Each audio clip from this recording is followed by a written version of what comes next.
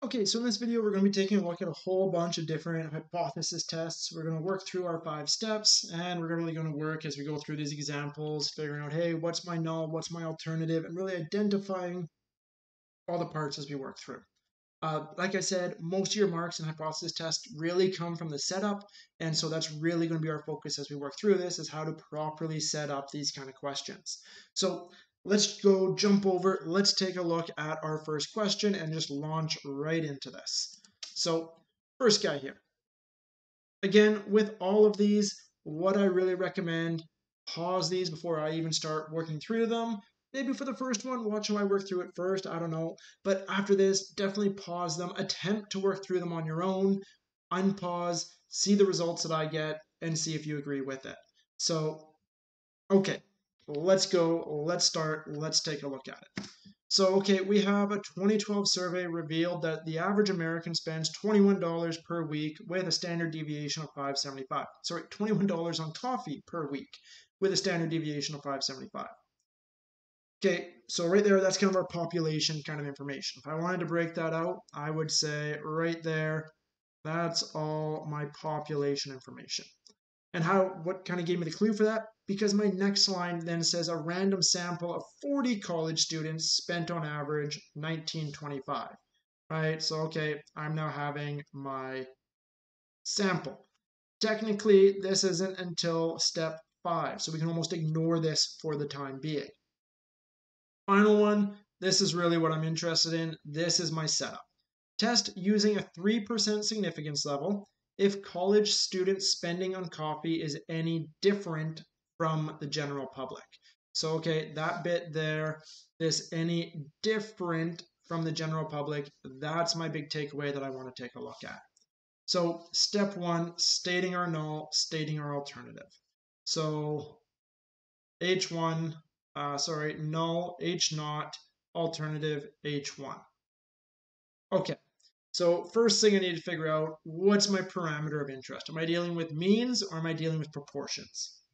Well, okay, right here, study revealed that the average, okay, there we go, we have it, means. So population parameter is my mean.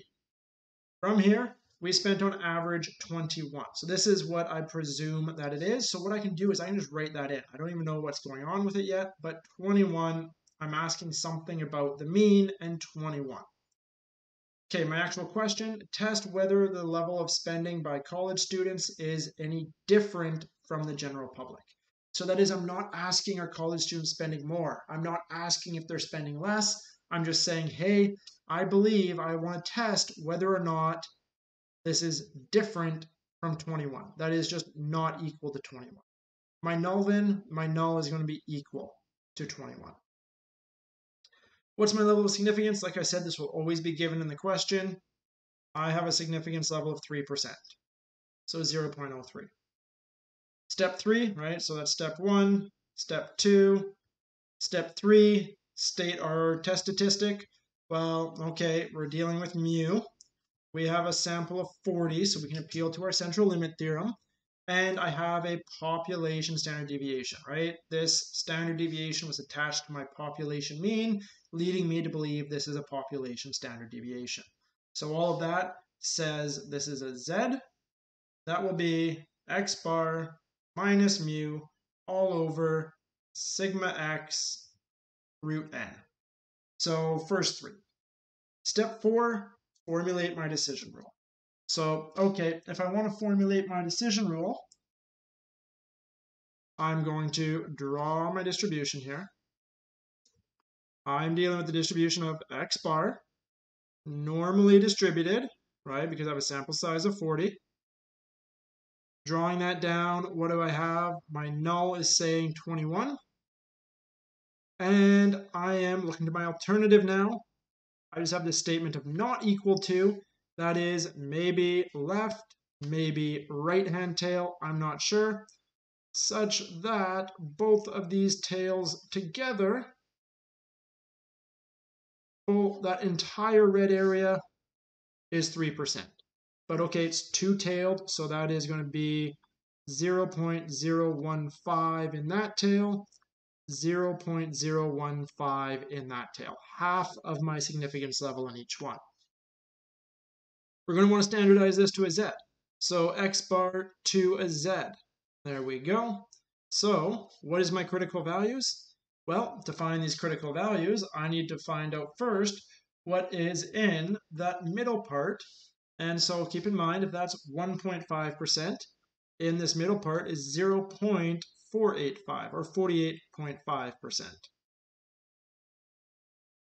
So what I'd want to do is I want to go jump over to my table. And as I go jump to my table, I want to look up in the middle there, 0.485 or the closest to it, and pull out my corresponding statistic. So let's go and take a look what we can find. Uh, we have exactly a 0.4850, and that corresponds with a Z statistic. That's our critical value, our Z critical value of 2.17. So uh, let's keep the same color going on here. That'd be 2.17, 2.17. And I could express explicitly my decision rule to say if, that's a negative, if the absolute value of that z that I calculate is greater in magnitude than 2.17, I will reject my null. Alternatively, I could write this in terms of my p-value, and I could say if my p-value is less than my significance level of 3%, then we will reject our null. So, okay, I've explicitly written my decision rule in both ways. And so, right, so far, so far, if this was a test situation, that would be one mark. That would be one mark. Writing your explicit decision rule in both ways, that would be one mark. Finally, step five. This is where we actually go and we start doing some calculations. Everything up until now has just been set up. So step five, we're going to go and we're going to be, right, step five, this is where we actually get our sample. We have n of, sorry, n of 40, and x bar of 1925. I want to take my step three, I want to put these values in. I want to figure out, hey, where is my Z statistic with respect to my critical value? So I go and I calculate this. Z is 1925 minus 21 is my population mean, all over my standard errors. So I had a standard deviation of 575, all over the square root of 40. So, okay, working through that, we have 1925 minus 21. That gives me negative 1.75 in the numerator. 575 divided by the square root of 40. That's going to give me 0. Point, we'll carry on a few extra decimal places here, 9092.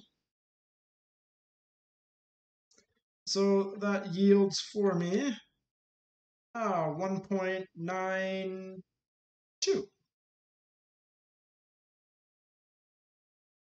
Negative, negative 1.92. So, okay, let's take a look at this negative 1.92. This is not enough on its own. We need to know what we're doing with this. So 1.92, negative 1.92, sorry. There's my cutoff, negative 1.92. That's going to be sitting somewhere around like that negative 1.92. So, hey, right there, I'm not in my rejection zone. So I would say, therefore, I will fail to reject. If I wanted to, I could also work out a p-value for this. So I'm not going to do this for all the questions, but first one here, just to make sure, hey, you didn't go any farther. Let's make sure we at least get the p-value taken care of in this case. So how we'd calculate the p-value, keep in mind what the p-value is saying. Under the assumption that our null is true, what is the probability we witnessed the result we did, or more extreme? So essentially, I want to go and I want to find out, hey, what is 1.92 or more extreme? That is, I would want to find out what this yellow area is. What is that yellow area underneath the curve? So how do I do this? Well, I go back to my table, I look up 1.92. So let's go do that. We look up 1.92. 1.92 gives me 0.4726. So that is there to there, 0.4726. Okay, that's not the area I'm looking for though. I'm looking for out in the tail. So to get the tail, I recognize that this entire half is 50%. So 0.5 minus 0.4726.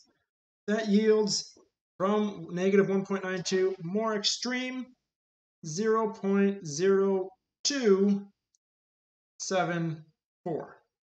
So probability of witnessing the result I had or more extreme is 2.74%.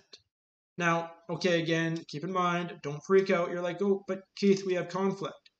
Negative 1.92, that's a fail to reject. This p-value, that's less than 3%, that seems like a reject. Keep in mind, two-tailed test, we need to times this by 2 because we're not comparing this to 1.5%, we're comparing this to 3%. So our true p-value in this case here, our true p-value is going to be 2.74 times 2, or sorry, 0.0274 times 2, which would be 0.0548. So that is, we have a p-value, a probability of witnessing the result we had, that is a sample mean of 19.25 or more extreme, assuming this is true. The probability of that is 5.48%. That's bigger than our significance level, therefore again, we fail to reject. Keep in mind again what the p-value tells us. P-value tells us the weight of evidence against our null. The smaller the p-value, the more evidence against our null. The bigger the p-value, well, the less evidence against our null. This again really brings in the importance of stating our significance level ahead of time before we work things out. Because if you were in a situation where you wanted to disprove this, right, you really, really wanted to reject your null. Well, if you really wanted to reject your null, now that you know the results, you could change things and you could say, hey, hey, I'm going to set my significance level to 6%. And hey, by changing your significance level to 6%, oh, your p-value is now less than your significance level, you would now be rejecting your null. But keep in mind, you've just messed everything up. You've figured out your results, and then you have changed your whole experiment in order to get the outcome you wanted to get. That's biased, that's subjective, that is giving you really bad results. That is the whole reason why we set our significance level right back here in step two before we know what our results are so that we set it objectively rather than subjectively. So important thing to realize with that. Okay, that's our first question. Let's jump on, let's carry on. Again, same thing holds. We'll take a look at this next guy here. Recommend you read through it first. You try to figure it out, work your way through it. I'll pick it up and I'll carry on with it after. So take a second here, see if you can work this guy through on your own. Okay, so in this case here, after failing to obtain a majority government, there is pressure for the premier to resign as party leader. In a random sample of 200 voters, 40% favor the premier remaining as party leader. We want to test at the 1% level of significance whether the proportion of voters who support the premier is less than 50%. Okay, whole bunch of information there. Let's start off by just going through our five steps. So, step one. Step one, state our null and alternative. So, null, alternative. First thing we need to identify with our null and the alternative is what is the population parameter we're interested in? Are we interested in our mean or are we interested in a population proportion? Well, in this case, we have nothing in the question about standard deviations. We have a whole bunch of percentages. And in fact, it says right here, proportion. So yeah, I'm going to go with that we're dealing with a proportion. So I'm asking some question about the true population proportion. What, what exactly am I asking here? Well, typically our question is phrased in the alternative, and typically it's that last one there. So let's take a look. Test at the 1% level of significance whether the proportion of voters who support the premier is less than 50%, right? Less than, that's an inequality, that's the alternative. So I want to say, hey, is the true proportion less than 50%? Versus my null, that in fact it is going to be 50% or more that actually still support the premier. Okay, step one, good, done. Step two, state our significance level. Test at the 1% level. Okay, significance level, done, 1%. Three, what is my test statistic? Well, okay, I'm using a proportion. So if I'm using a proportion, my test statistic is going to be Z, and that is P bar minus P all over P1 minus P. So that's going to be the test statistic that I will utilize once I get to step five. Step four, formulate my decision rule. Okay, so if all my conditions are met, and we'll have to check this, but if all my conditions are met, P bar will be normally distributed, centered around what my presumed population proportion is, 50%. And I need to figure out then what is my what is my rejection region. So that is I have this 1% rejection region. Where am I putting it? Well, again, for this, I go to my alternative and I say, okay, I'm looking for a proportion that's less than 50%. So, okay, less than 50%. That's going to be less than 50% over on my left.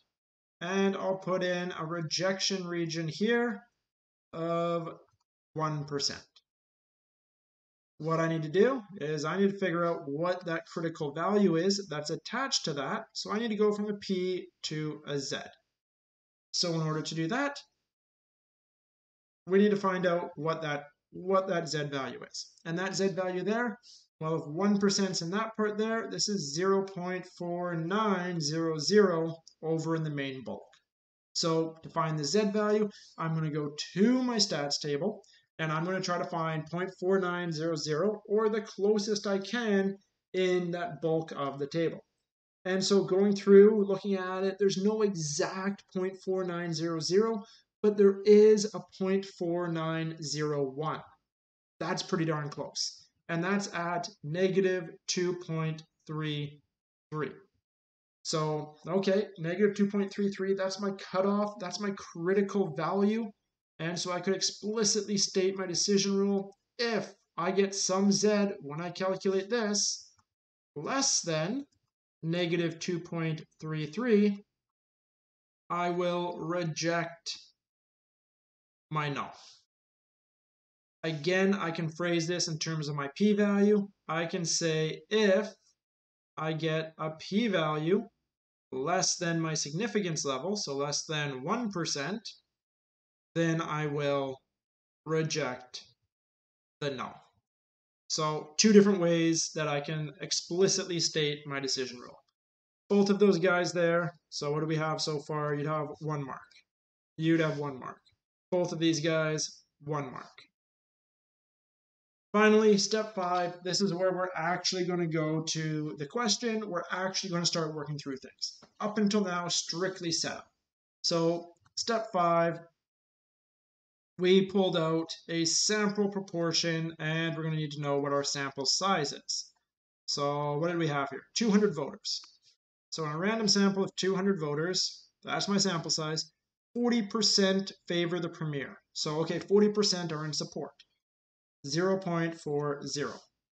Okay, we now want to take this guy, we want to work out what that corresponding test statistic is, compare it to our critical value, and then make our decision. Let's calculate. Z is 0.4 minus 0.5 all over the square root of 0.5. 1 minus 0.5 is going to be again 0.5 all over, uh, what was my sample size? 200. Okay, so numerator, I get negative 0.1.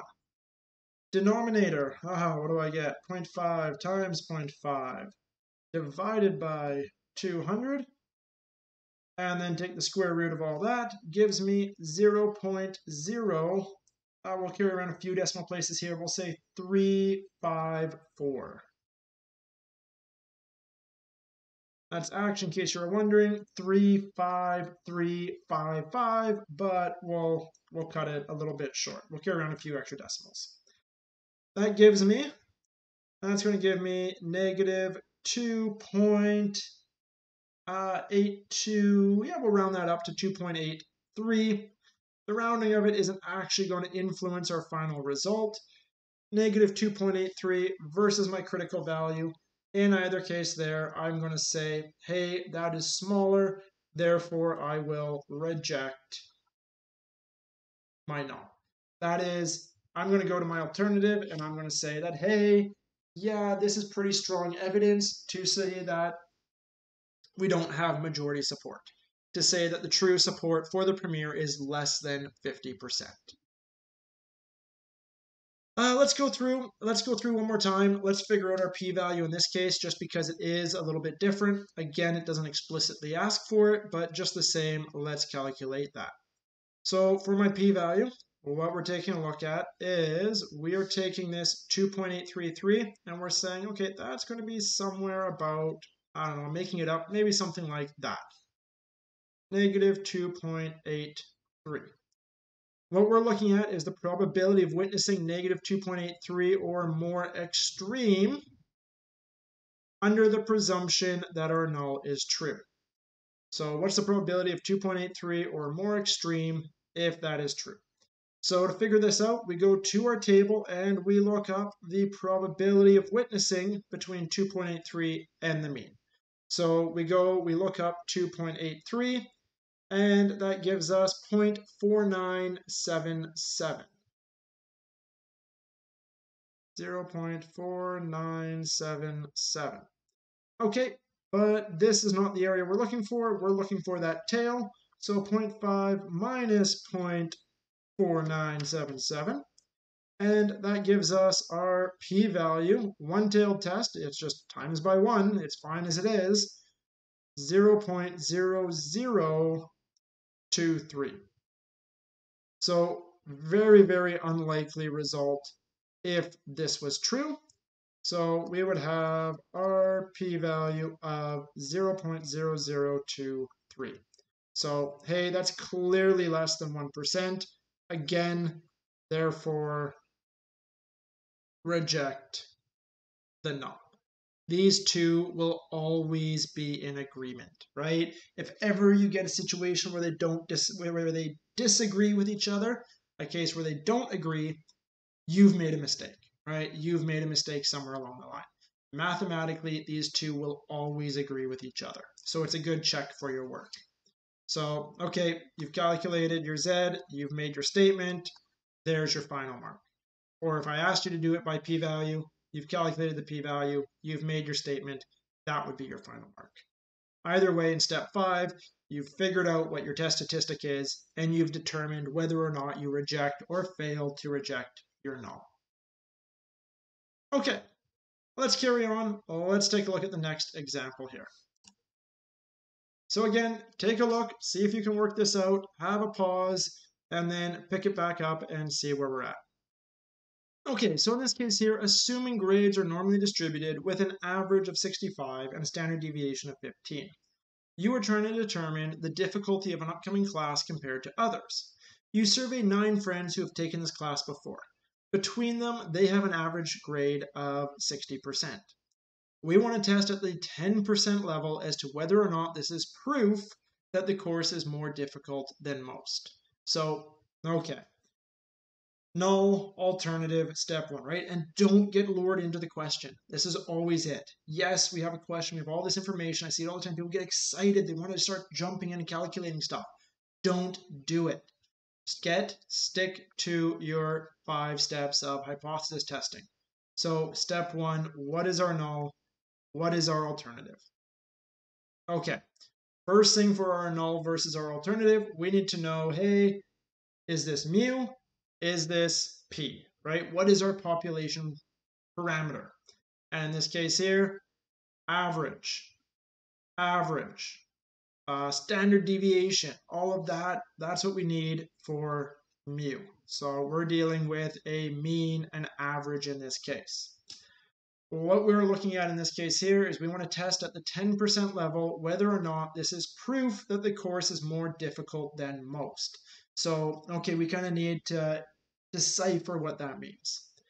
If this class is more difficult than most classes, well, you would expect them to be having a lower grade, right? That's really what you're trying to infer in this case. So if it's more difficult, you would have a grade lower than, well, lower than what?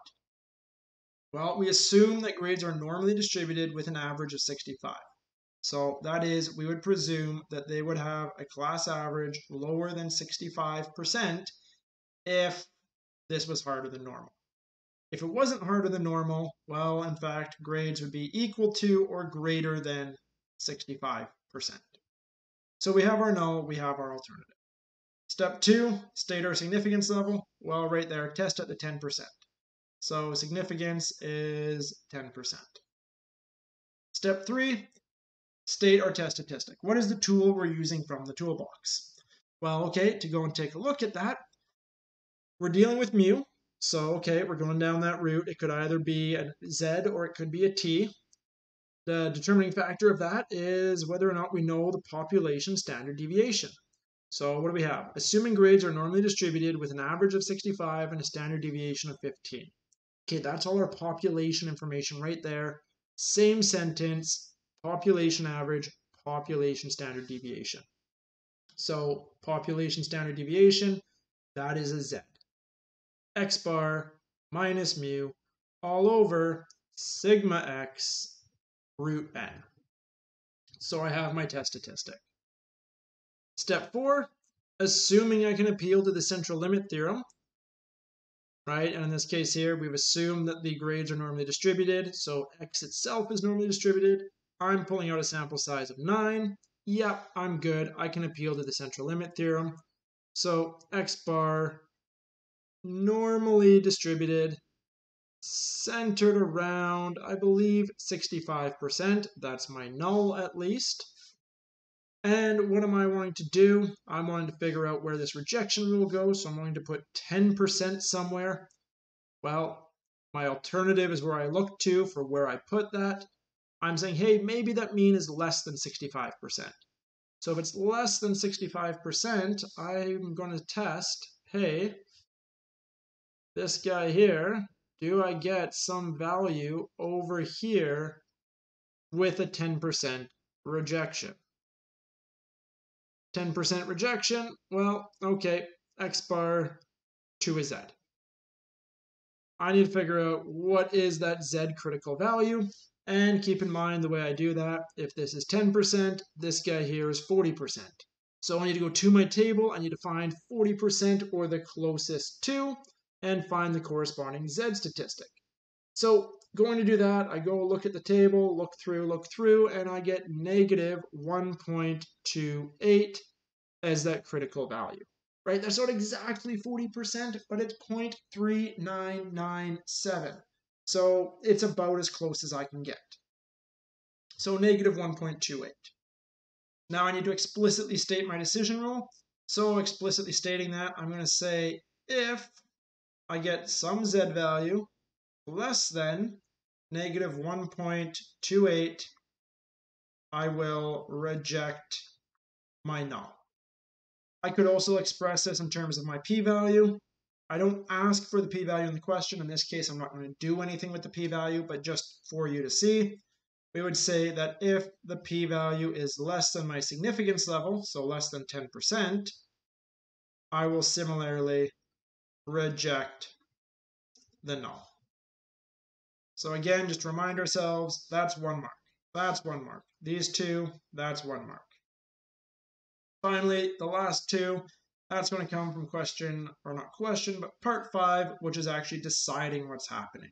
So what do I have? I need to know x bar, mu, that's going to be 65%. I need to know sigma x, uh, what was that guy? 15%.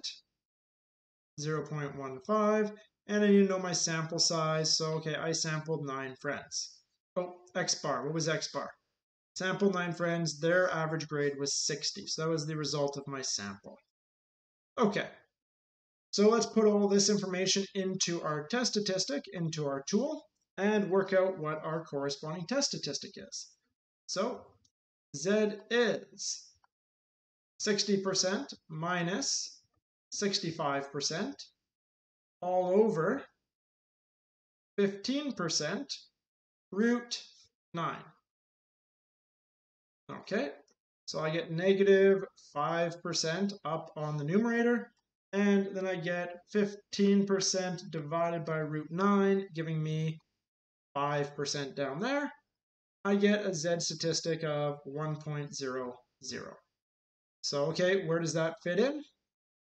1.00, well, if that's 1.28, 1.00 fits right there. There's 1.00. That's not in my reject region, right? That is not less than negative 1.28.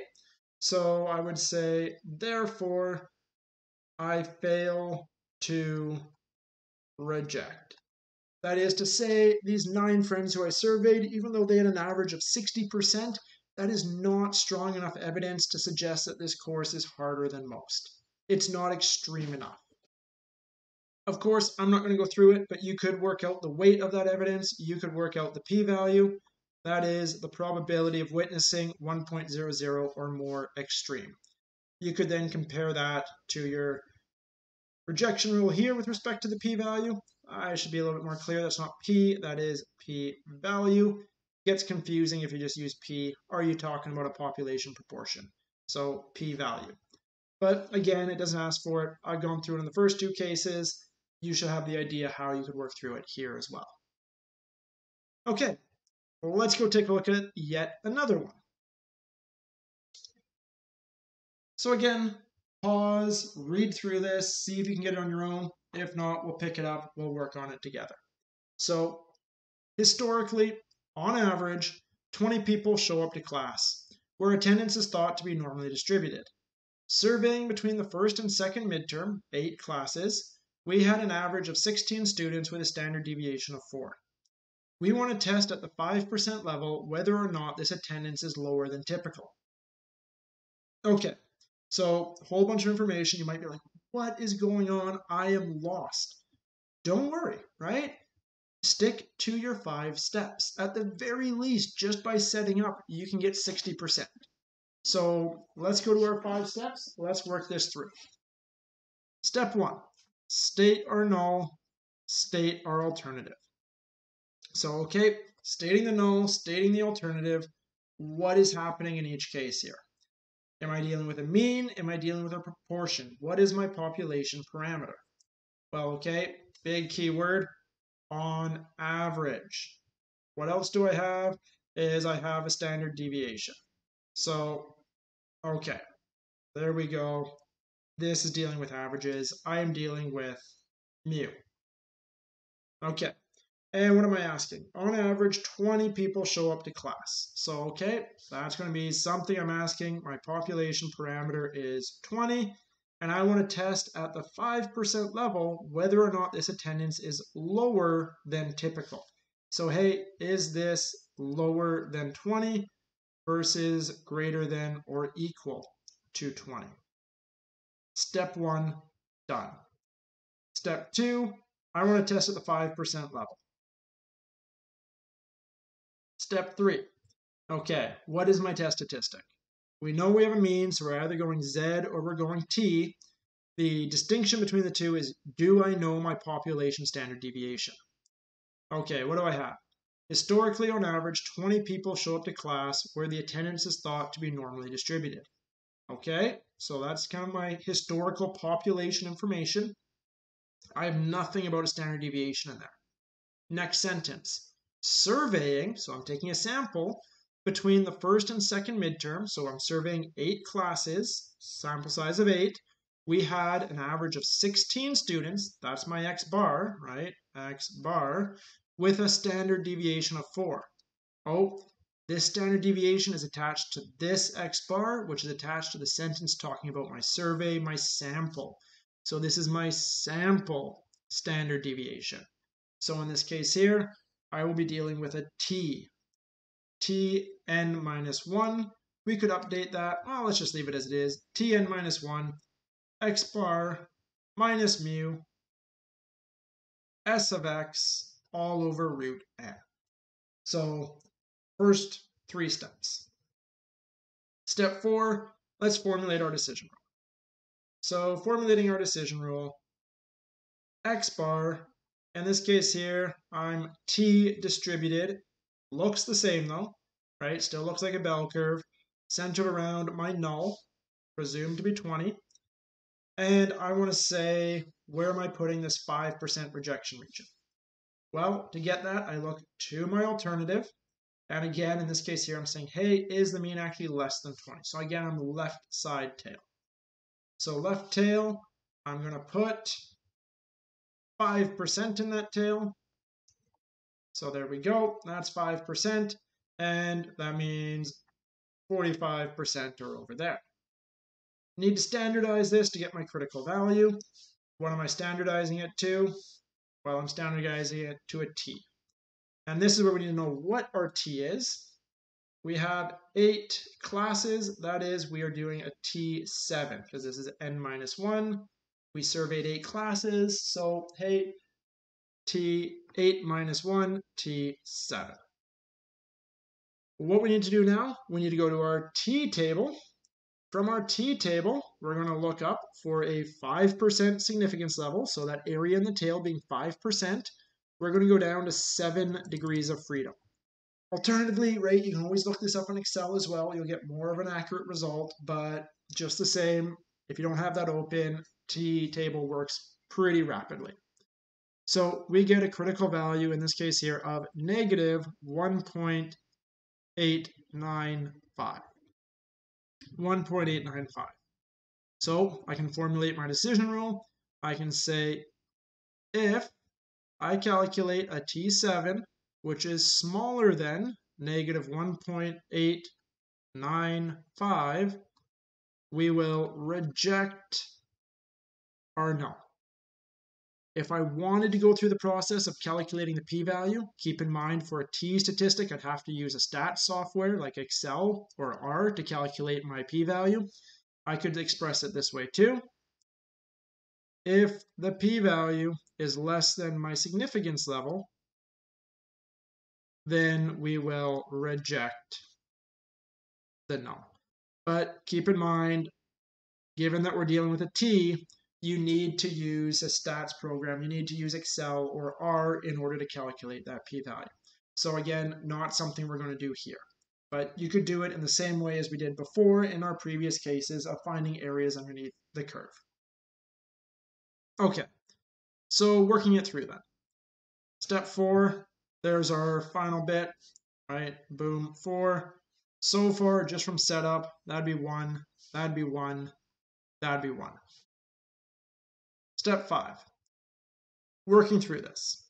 Okay, so for step five, we're going to pull down the information we know. So we know that the mean is 20. Uh, what else do we know? We know that the sample size was 8. X bar, we have that up there, is 16. And we know that the sample standard deviation is 4. So, okay, pulling our test statistic out, we're going to have our T7 equal to, uh, getting that mixed up, x bar minus mu, so 16 minus 20, all over sample standard deviation, 16 all over root 4. Oh, nope, look at that. I'm looking at wrong numbers left, right, and center. Sample standard deviation, what was that? Sample standard deviation was 4 all over sample size of 8, so all over root 8. There we go. Now things are working out. So that's negative 4 all over 4 divided by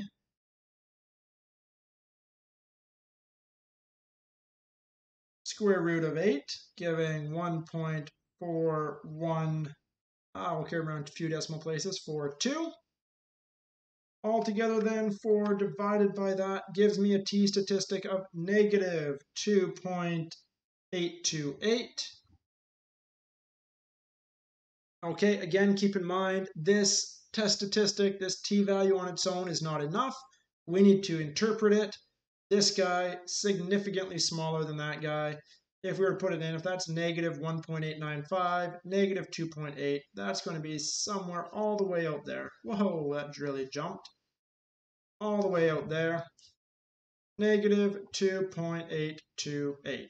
That's clearly in our rejection region, so therefore we would reject the null. Very clearly, that is out. We are rejecting our null. So we have that result there. Okay, let's carry on. Let's take a look at some more examples. Okay, last one here. Research in, okay, again, pause it, right? Just that heads up, pause it, read through it yourself, but let me jump into it. Research in the gaming industry showed that 10% of all slot machines stop working each year. Shorts Game Arcade has 60 machines, and only 5% failed last year. Use the five step hypothesis testing procedure at the 10% significance level to test whether these data contradict the research. Okay, so five steps. Here we go.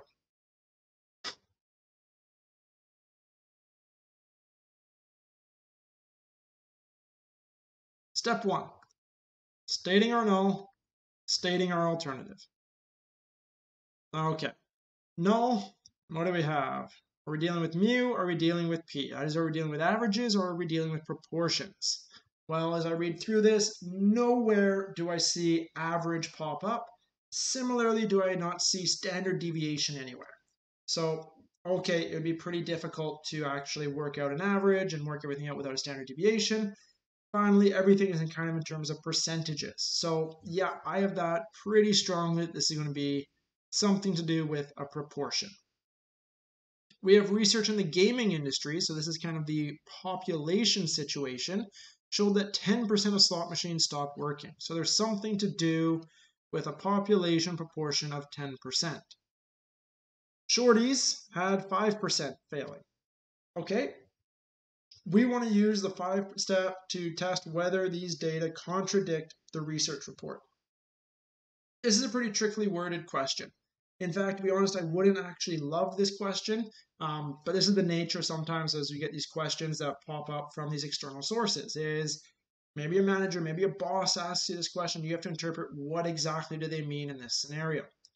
You're like, oh, but Keith, on a midterm it really matters. No, no, no, on a midterm it really matters. I'll make sure they're really nice. Don't you worry. In this case here, though, does this data, right, test whether these data contradict the research report. So they're really hinting that we already have we already have this data here. Right? Because it's saying, does these data contradict the research report? So I would take this to be, hey, this is saying 5%, they're saying 10%. I would put it in this way here. And again, really shoddily worried. Typically, you wouldn't have these kind of results until step five, but sometimes you do, right? Sometimes you do. And in this case here, we are reflecting right back to the fact we have these results in order to see if they contradict. So I would say, hey, does this result of 5% contradict 10%? That is, I'm saying, is this population proportion actually less than 10%? So that's how I would interpret that. Two, at the 10% significance level. So 10%. Three, while I'm dealing with proportion, there's only one option from proportion, and that's a z. So that's p bar minus p all over p1 minus p n. Okay? Decision rule. Well, if our criteria are met, if np and 1 minus p are both greater than 5, which in this case here they would be, we would have p bar sample proportion being normally distributed centered around our null of 10%. In this case here, we're looking at where we're putting this rejection region. In order to figure out where we're putting that rejection region, we look to our alternative. Again, every question I pulled out for this example, they all turned out to be left tail. That is, again, I'm saying, hey, proportion is less than 10%. So there we go, left tail. And in this case, I'm saying that guy is 10%. So this one is 40. What I need to do, I need to figure out what that critical value is. That is, I need to find out what that corresponding Z score is. So what that Z critical value, I'd go to my table and I'd look up probability of 40% or the closest to. So going to do that, 40% or the closest to yields for me 3997 and that's at negative 1.28. So again, I can state this, if z is less than negative 1.28, I will reject my null. Alternatively, I could phrase it in terms of a p-value. If my p-value is less than my significance level, so less than 10%, I will reject my null. So first four steps said, done. We haven't done anything yet really. Now step five, this is where the rubber hits the road. This is where we begin starting to do some work. We pull this guy down, we start to solve it. So what do we need to know? We need to know P, P bar, and N. So, okay, P, that was 10%. P bar, that was 5%, and N, N was 60 slot machines. So, okay, working through that, we have 0.05 minus 0.10 all over our square root of P, 10%, 1 minus P, so 1 minus 10% would be 90%, all over 60. So 0.05 negative in my numerator, and in my denominator we have 0.1 times 0.9 divided by 60. Take the square root of that answer, and we get a denominator of 0.03873. Okay, so if we work that out, 0.03 divided by our denominator, we get negative 0.77. Uh, I'm going to go one more. I'm going to go say 775, but keep in mind, really, our Z values are typically only reported to two decimal places. So there I have my Z score. Again, what does that mean? How do we interpret it? Well, let's bring it back up to our decision rule. 0.77, that'd be somewhere about there. That is, it is not less than negative 1.28. Therefore, given this, we would say, therefore, we fail to reject the null. So we have our result.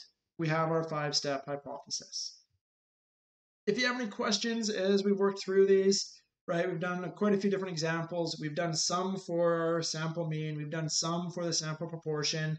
We've done one tail tests, we've done two tail tests, and we've done a few times where we looked up our p-value. We've done it for the z, we've done it for the t. So if you have questions about any of these, feel free, reach out to me, make a post to D2L, or feel free to send me an email. Thanks, until next time.